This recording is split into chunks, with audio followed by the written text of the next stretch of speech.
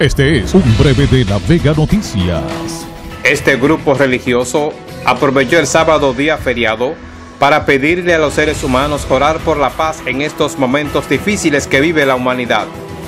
Los mismos recorrieron los diversos sectores de la parte sur de La Vega dando el mensaje de salvación. Si buscamos de Dios, tendremos un presente y un futuro lleno de gloria, indicaron. Este segmento llegó a ustedes gracias a Camugas, galón por galón, nadie te da más. Este fue un breve de La Vega Noticias.